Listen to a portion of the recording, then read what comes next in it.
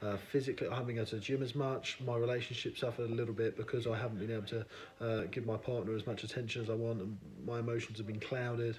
Um, can't see friends as much. You can't, you know, just be there for your family as much.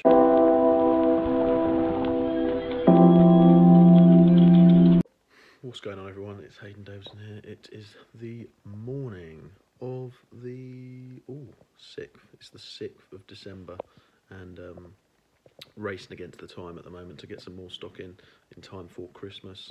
Um, to to to um, yeah, to make the most of it, cream the last bits of it before we cut off for Christmas. So uh, yeah, just about to head off to the office, and here we go. Here we are, packing away in the office, just on a little break peanut butter.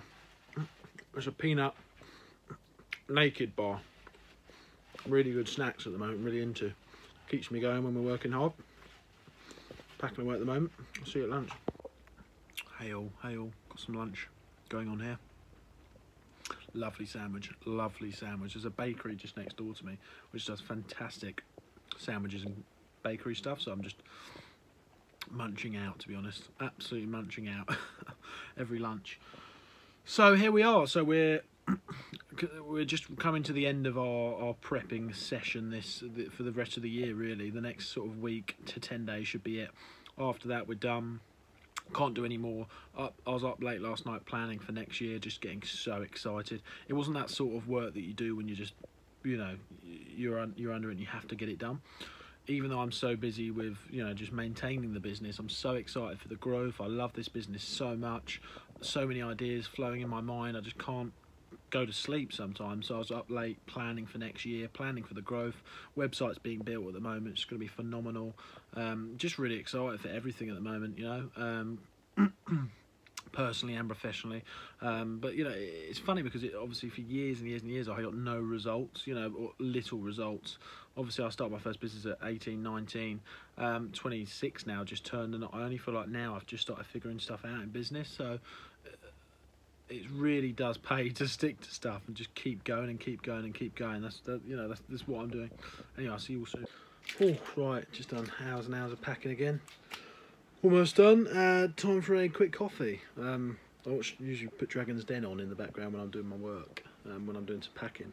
And um, I saw a thing. Actually, it was yesterday I saw this. I saw a thing. You know, Levi Roots that won the uh, won the Dragon. You know, with Peter, and it's like 30, 35 million pounds that brand, and Levi's worth now, which is crazy. Um, you know, ten years later or something. Um, reggae reggae sauce.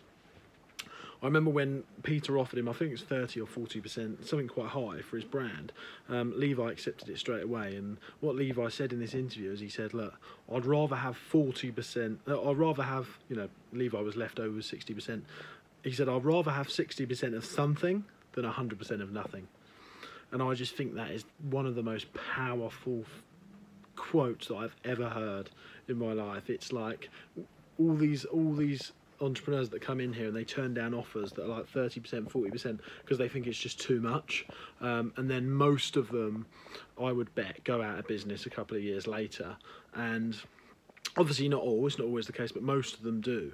And what they overlook is the fact that you know it's part greed but it's part you know it's self-awareness you know.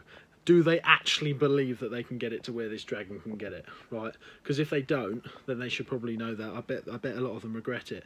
You're better off having 60 50 even 40 30 percent of something that could be a multi-million pound business rather than 100 percent of nothing that you end up quitting one day and it's just so you can learn so many lessons from that so many lessons so many lessons some people, for example, in, you know in the, in the business I do, and you know e-commerce and stuff like that, some people would be like, "Oh, I wouldn't sell a product like that because you know it, it, there's not enough money in it or anything like that." And it's like, well, okay, that's fine. Then you go away and do nothing.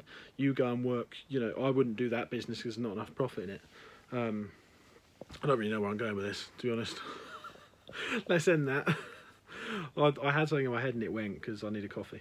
Right, soon. So, just got home.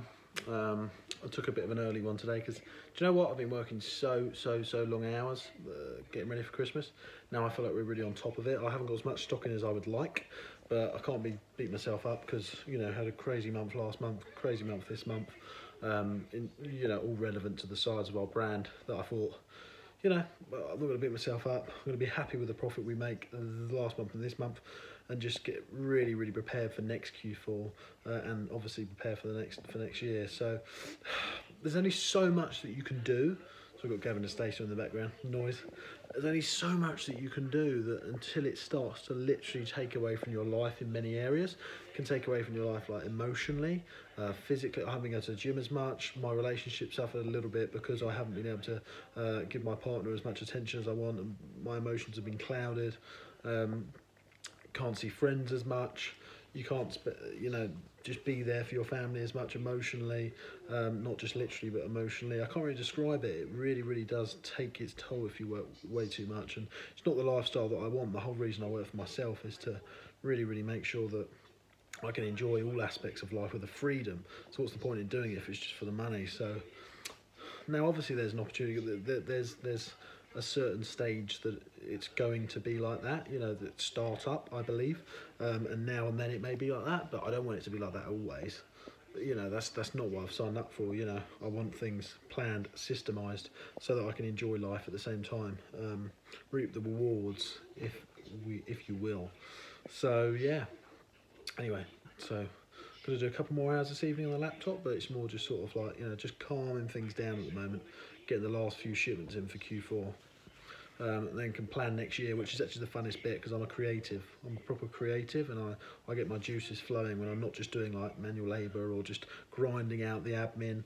It's just when I'm being creative. When I get a chance to be creative, come up with new ideas, designs, plan the future, plan products. Oh, that really, really gets to me, uh, and it brings out the best in me, to be honest. So, self awareness is key, obviously. Um, for to understand that. It took me a while to understand, but yeah, um, looking forward to creating some exciting products for next year under our brand and uh, go forth and conquer. Have a fantastic evening, everyone. I'll see you all soon.